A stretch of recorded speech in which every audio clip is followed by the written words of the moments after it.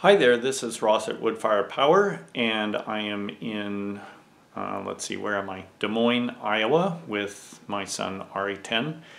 And we went to the uh, talk by Andrew Yang at Drake University yesterday evening, and it was really awesome. Tonight at Drake University in a different building is the uh, Democratic debate where Andrew Yang is not going to be allowed to talk.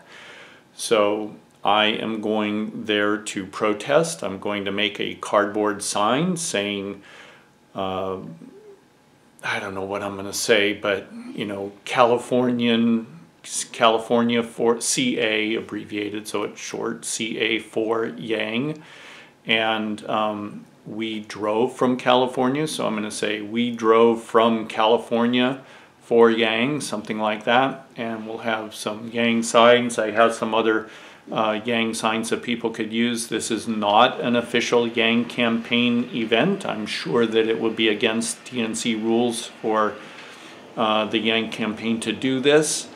But we live in America and we live by freedom of speech, and this is my freedom of speech. So my income level is currently labeled at the poverty level and I've donated about $700 to the Yang campaign.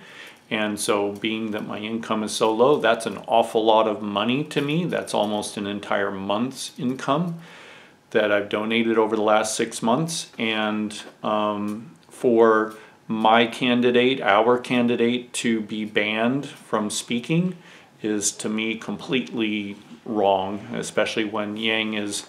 Uh, receiving as many donations and polling as high as he is. He should be on the debate stage.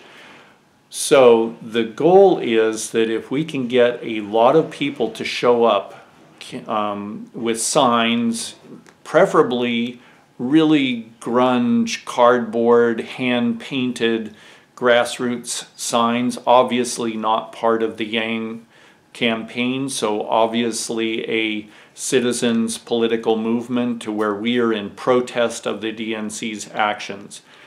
Um, as many people as can show up as possible would be great. So Paget, Tom, Tully, um, Kai, all of the Nerds for Yang teams, Erica, Simone, um, everyone all around the country um, make a video if you can and post it right away so that people watching your shows know that we're doing this. It's just happening in a couple of hours. It's about 2 o'clock now and I'm going to get there as soon as we can. From here, we're going to leave and go to Home Depot, Depot and I'll buy some wood and um, I guess duct tape or something to kludge some signs together and uh, I'll get some extra little sticks, some one by two that people can use. So make your own signs out of cardboard, hand painted, and just show up. And we'll be there from, oh, say four. Just arrive whenever you can. Earlier is better.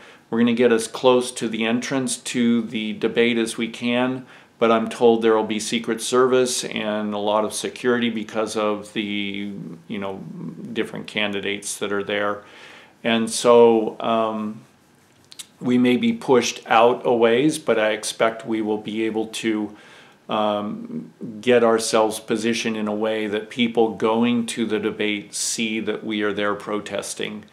Um, we'll get as close as we can. So if you can just get to Drake University in Des Moines, Iowa uh, this afternoon or evening, that would be awesome. The more people that show up, the better. If it's just me and my son Arie, so be it. I know Tully is on um, a mode to uh, get over there and do something. I think that's what I heard. I haven't connected with him, but I have connected with a number of volunteers to the Yang campaign here in Des Moines, and a number of them have said that they'll show up. Uh, at any rate, I'll be there and hopefully this gets word into the Des Moines area because there are a lot of active students at the university and a lot of them would uh, certainly show up if they know that this is going on. So the key is to get the word out. Um, sorry this is late. I just thought of it this morning when I woke up and I'm working on getting it going.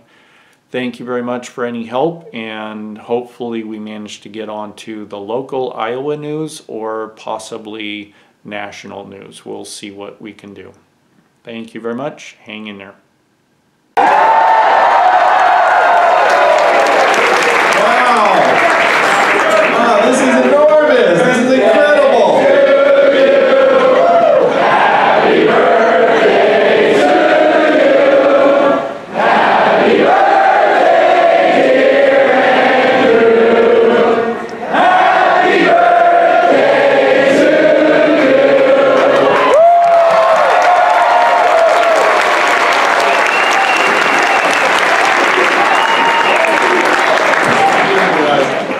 Thank you so much. It's tremendous to be back. Donald Trump is our president today because he had a very simple message. He said he was going to make America great again. And what did Hillary Clinton say in response? America's already great. You remember that, Des Moines? It's been a long three years, I know. but it's about to end.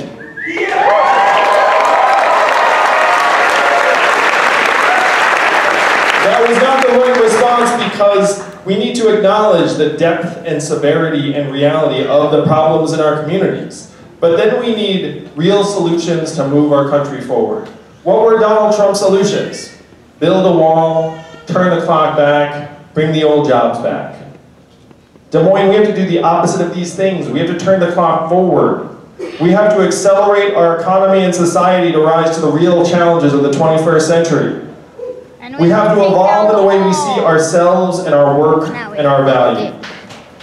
I am the ideal candidate for this job because the opposite of Donald Trump is an Asian man who likes math. Thank you